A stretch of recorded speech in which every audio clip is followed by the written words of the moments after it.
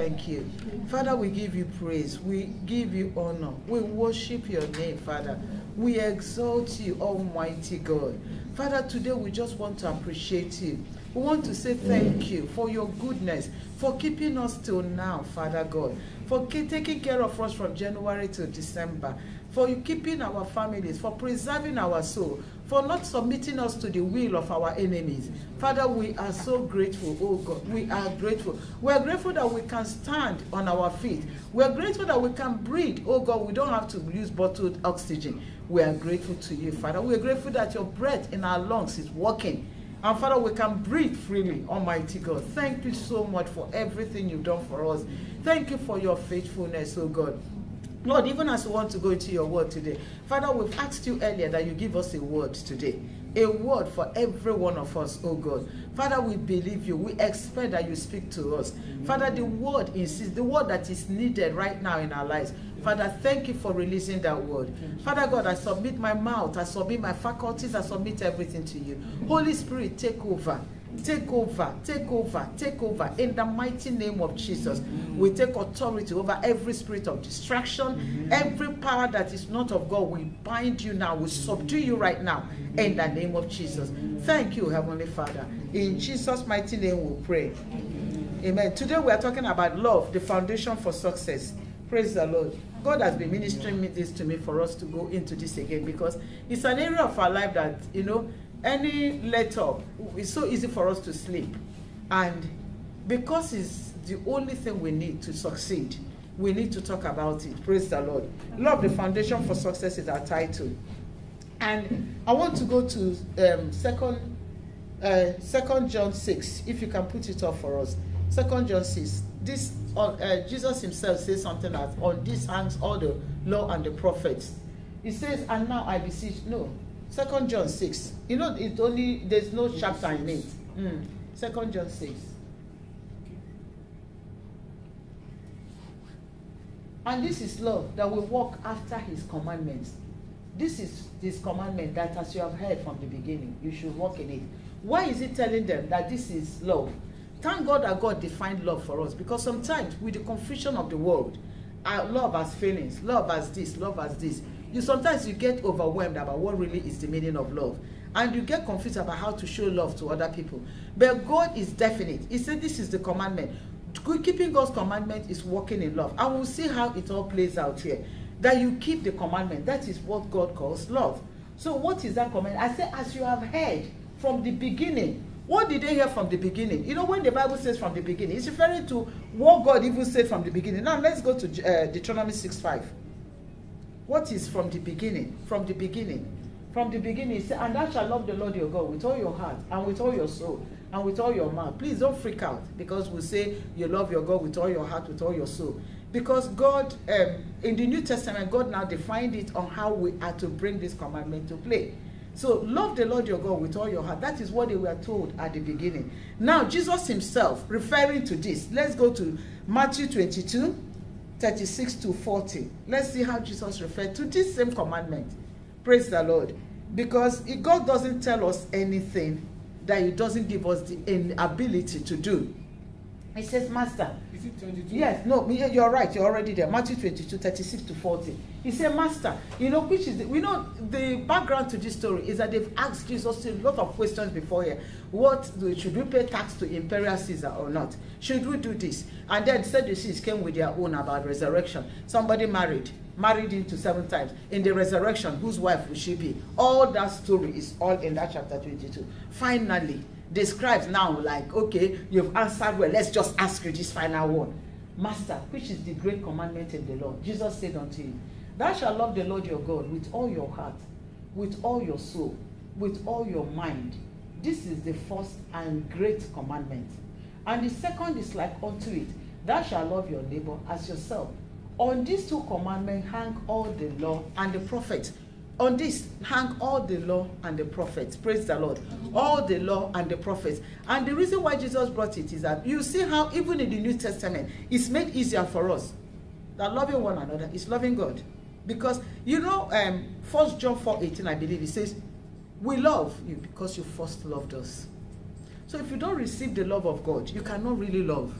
He said, We love because you first you love because he first loved us. So it's the love of God in us. And we will see how the love of God is already resident in us that enables us to love other people.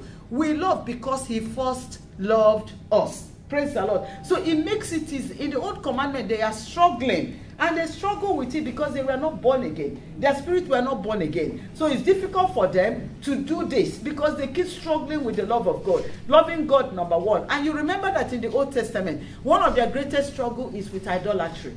They keep struggling, you know, like they will be tempted to worship other gods and all. But we are positioned because it's been inside of us and this is these are the things we are going to understand praise the lord so now when we love when we make jesus the lord of our lives if we have received jesus as the lord of our lives not that we're praying religion you know are you really born again? That is the first obedience to that commandment because that is the beginning of the step. You remember when he says keeping the word is loving god isn't it? So when we have become born again we are now keeping the word. That is the first step of obedience.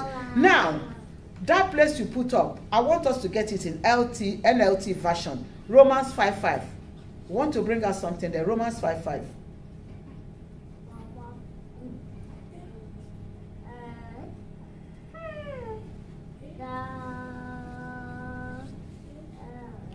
It says here,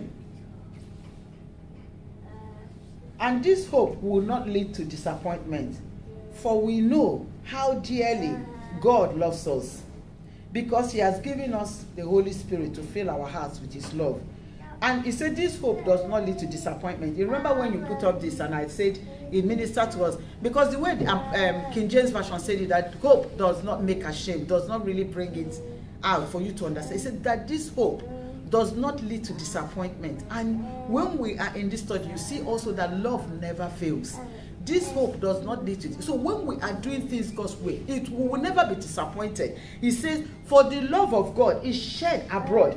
This NLT explains this, and this lead to. For we know how dearly God loves us, because He has given us the Holy Spirit to fill our hearts with His love. This love is inside of us.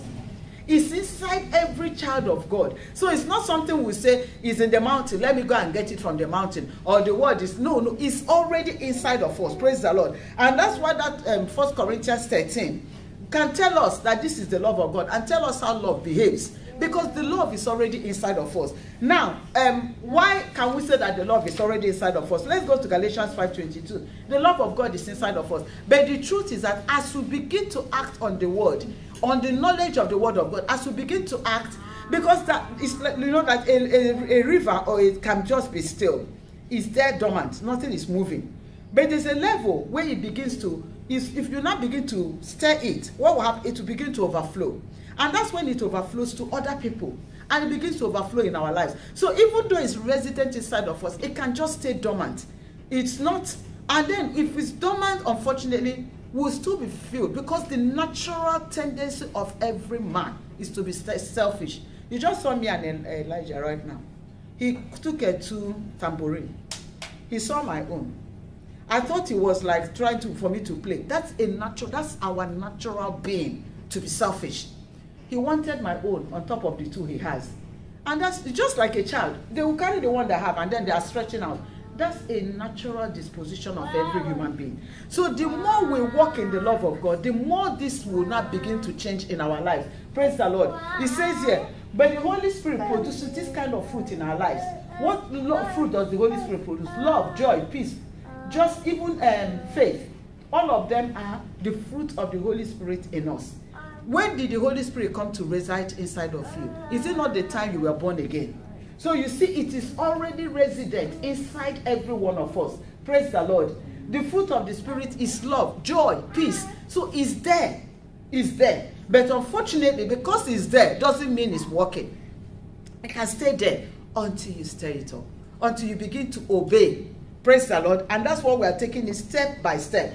So uh, now, um, when we begin to act on God's word, that powerful force lies dormant. Love becomes active through knowledge. Now let's go to Philippians 1 9. Because it's through knowledge that the love of God inside of you becomes more active as you act on the love of God inside of you. Philippians 1 9. And this I pray that your love may abound yet more and more. The love abounds. That's why we are talking it. That's why we are preaching it. Because the more you know about it, your love will abound more and more in knowledge and in all judgment. Praise the Lord. In knowledge and in all judgment. Why judgment? When you are acting on the love of God, you are not afraid that this person is taking me. You know, like some situations you know and you know. Some people, you do something for them, you know, God leads you to do something. If that person is not working in the love of God, anytime they have a problem, they'll start coming to you again for that need. They are not making you their God. Do you understand me? The first time that you have a need and God ministers to you to go to A, doesn't mean that that's the person that God will use for B. If you go there again, you may be disappointed. You're not walking in the love. That's why the love of God has to do with judgment. So when you are walking in the love of God, you're not afraid that people will take, um, how do I put that? People will abuse you or whatever because there is a judgment in that. And that love of God, that's why sometimes there's also what is called tough love. And God deals with us. God deals it with us sometimes. You know, there are sometimes we'll do certain things as born again believers, new believers. God will allow it. Then suddenly you don't you do some things and God is not allowing it anymore. Have, have you ever been there before? Tough love, praise the Lord. So the love abounds, but also with judgment. Praise the Lord. We are going to discuss all these things. So now God's love is released in our life by acting on the knowledge of God's word. So well, if we are not acting on the knowledge of God's word, we are not releasing the love of God in us. Praise the Lord when we are acting on the word of God, we are releasing the love of God in us. Praise the Lord. So now, without revelation knowledge, followed by action, I want to emphasize the action bit here because the love of God has nothing to do with feelings. Hello? It has nothing to do with feelings. As we go on, you'll actually notice that because the natural tendency our natural feeling is against the love of God. So until you learn to minimize your feelings, you cannot walk in the love of God. You cannot. Praise the Lord. So a time will come when it's not what I feel. What does God's love want me to do in this situation? Praise the Lord. So he says here, followed by action. Love has it remains undeveloped and selfishness continues to reign supreme in us. So eh, when we begin to act on the love of God, now as we act on it, what happens is that and as we obey God's word the love of God begins to flow in us. Praise the Lord. Now let's go to First John 2 5 and 6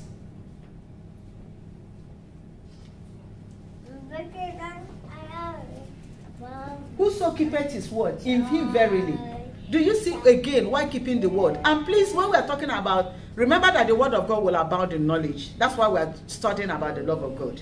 You believe the love that God has for you you walk in that love. And because you walk in that love you begin to experience. Praise the lord. Your life found everything you need in life. Our success depends upon the love of god. How much is flowing in us will determine how much will go in life. How much will flow in the love of god will determine how much will fulfill god's plan for us in this earth. Praise the lord. He said whosoever keepeth his word do you see again keeping the word Keeping the word is walking in the love of God. In him verily is the love of God perfected. When we keep the word of God, the love of God is being perfected. He said, Hereby we know that we are in him. He that said he abided in him ought also so to walk, even as he walked. Another place, is that 5 and 6? Okay, so now what we are trying to say is that when we keep God's word, we are walking in that love. Praise the Lord. We are walking in that love. So as we begin to act on God's word, the love of God will be perfected in us. That's when we begin to flow from, uh, from us. What is that love being perfected in us? It's effortless now. The love of God flows from us to others. Praise the Lord. The love of God. Now, the love of God is very important. I've said it that how accurately we walk in the love will determine how far we reach our destiny, how far we walk with God, how far God fulfills His purpose in our lives. Praise the Lord. This is because every other spiritual force depends on the word of God, on the, walking in love. Now let's go to uh, 1 Corinthians 13. I'll read it briefly and then we'll see how everything we are doing, our success in walking by faith, our success in not obeying fear, our success in receiving promises of God, our success in everything is hinging upon the work and upon our love work. Praise the Lord. So it says, if I could speak with the languages of earth and of angels, but didn't love others, I would only be a noisy gang or a clanging cymbal. What I want to mention here, if you remember the Corinthian church, this is the church mostly they were speaking in, they had all the gifts of knowledge working in the church. Is that not so? That's why Paul wrote them a letter to, on how to do it properly. They spoke in tongues, they were, they were prophesying, they were doing everything, but they are the most carnal church. Ask me how it's possible. It's because if we do all these things and we don't do it in the love of God, we become carnal. You can have all this, be spiritual, and actually, the, the yardstick for being spiritual is not how much you know the Bible. Am I speaking to I'm speaking to you, I'm speaking to myself. It's not how much you know the Bible. It's not how much, it's how much the love of God is working in you. That is what spirituality is judged by. If not, Paul would have said that the Corinthian Christians are the most spiritual ginger that he knows. But he rebuked them for carnality. In that they're speaking in tongues, in that they're prophesying, in that everything they're doing, he said, You desire spiritual gifts. They were still having party spirit. I am of Paul, I am of Apollos. They were countenancing somebody who was living with their father's wife. And he has to rebuke them. Praise the Lord. How come that you didn't tell them, oh, you're the most spiritual of churches with all their gifts? So you see, with God, it's not how much, because some people have faith to do certain things. It's not how much, it's how much the love of God is working in you. That determines how much you have grown as a Christian. Can we talk to ourselves today? Because I'm talking to you, I'm talking to myself. Praise the Lord. He says, if I now he says, okay, I can speak with the languages of earth and of angels, but didn't love others. It's and, and a noisy clang, noisy, um, uh, um, uh, noisy a clanging cymbal. If I had the gift of prophecy, do you see prophecy there? Because you can be prophesying and yet not be in love. If I had the gift of prophecy and if I understand all God's secret plans and possesses all knowledge, do you see that? You are so adept in the Bible. You can know the Bible, and yet, if I had such faith that I could move mountains, how come I can have faith to move mountains and yet not have love? That's what the Bible is saying. It's possible that your love is not perfect. Praise the Lord. Say, they didn't love others. I will be nothing. If I give everything I have to the poor, and there are people like this. There are people. We're not talking about unbelievers now. We're talking about us Christians. You can do this from whatever is your motive. Because God looks at the motive of the heart. Even giving can be with the wrong motive. If the motive is not love, at the end, God says that your work will be burnt. Praise the Lord. And your soul will be saved as by fire. So there's some things we are doing. If love is not our motivation, it does not count with God. May God help us in Jesus' name. Amen. And say, I have to be poor and even sacrifice my body. I could boast about it. How much I have sacrificed. How much I do this. How much I do this. And if I didn't love others, I would have gained nothing. Praise the Lord. So you see again that there are so many areas that this thing will, this is like a foundation for us. This is like a foundation. Well, I'm saying this because if we're moving into 2022, and by the grace of God, I'm going to give some journal, devotional in this regard, for all of us, if we begin to do this perfectly, you will notice that so many things Because love will affect your feelings. If you're walking in the love of God, where would love affect your feelings? Okay? So, let me just uh, read this out to us. Why love will, will, will work against you? Now, love is directly opposed to the senses. The senses have been trained to put themselves and their desires above anything. That's true. If you're hungry, your body is screaming, feed me, feed me, feed me. That is it. The senses, the world takes care of number one take care of number one. You think of yourself first. He says he's been trained in selfishness. Love does not, that's a place we are reading in First Corinthians 13, if you read from 4, he said love does not seek his own. Do you see that love is directly opposed to the way of the world? If love does not seek his own, meanwhile, the Bible says there that you understand, you see, so the way of the world, so going the way of love is counter to the way things would, should have been. Praise the Lord. He says, now, it says uh, so why is counter and why the whole system is structured in this way until we make a definite decision to walk in love in every situation it's not going to work the very reason that you're hearing this and you determine just like one person that says god teach me patience and that week he had the greatest testing of his patience because the system of the world is default negative so if you make it but your determination to do this will begin to you ask the holy spirit i'm doing this because this is my work for the next by the grace of God. Oh, Holy Spirit, help me. Now, when you are about to step out, the Holy Spirit will begin to flag you. Don't do this, don't do this, don't do this. You're stepping out of love work. Praise the Lord. May God help us in Jesus' name. Galatians 5 6 says that um, faith worketh by love. Faith. Now, why do I say that your promise is also dependent upon walking in the love of God? Sometimes we're believing God for stuff, and I don't know if you've been there. They, Satan will raise issues around you. A man of God was preaching. He says that um, that because that Satan is not omniscient, what he does is that he he will give give certain suggestions. And I told us that the way that Satan knows what we are doing, where we are at the moment, is what we say and what we do. For example, if we inject some fear into us and you know tell us some fearful things, how will Satan know whether it has hit hit home? Is your action and what you say. For example, if you're sharing with some other believers or sharing with somebody or you're talking to somebody, you say on the phone, you say exactly what Satan has ministered to you. He knows he has hit home. Or you take action. He tells you, oh, go and check on your child. Maybe your child is dead. And you quickly run and go and check on your child. You see, he has hit action. He, he knows now that you are obeying him. Praise the Lord. So that's how he knows what we do, how where we are He doesn't need to be omniscient to know where we are because our actions will say. You know, in the Bible says that of the abundance of the heart, what we speak. The mouth speaks. So what you say will tell the enemy where you are at. Praise the Lord. So now it takes faith. Now where do I? Uh, let's now go to that. Um, love does not seek it. So let's go to that First Corinthians thirteen. Let's go to four and eight.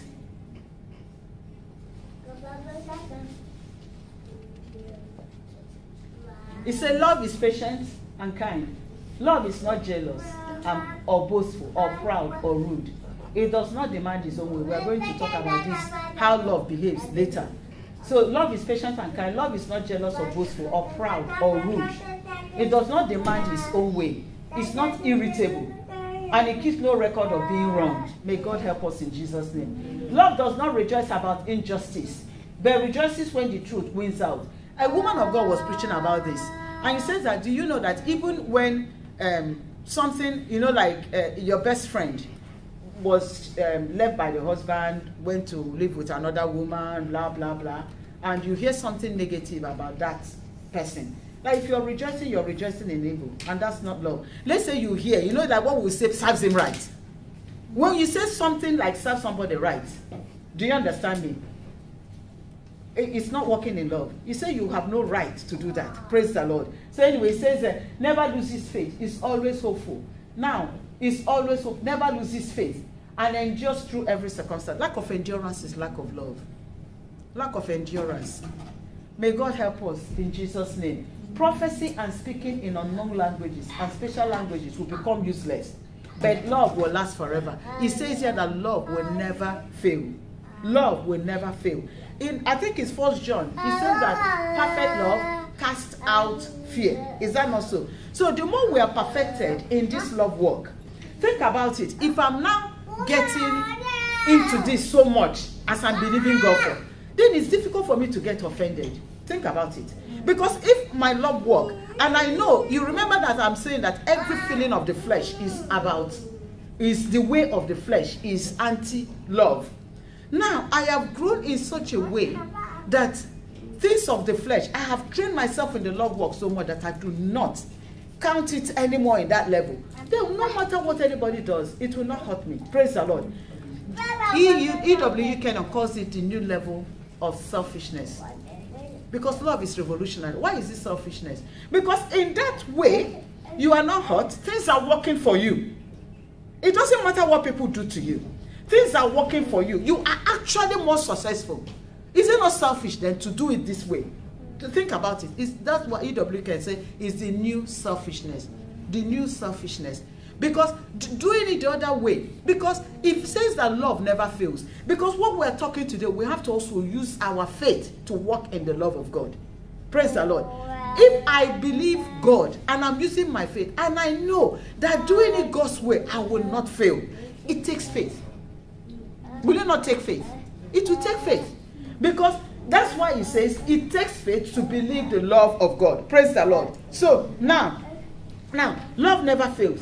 Love will not fail. In no way will the love of God, if we are doing these things our way, perfect love casts out fear. What is he talking about? What is perfect love? Cast out fear. Every fear step we take is because we don't trust.